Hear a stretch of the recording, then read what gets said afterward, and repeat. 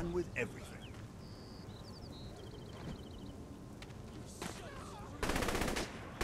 This. I love this town.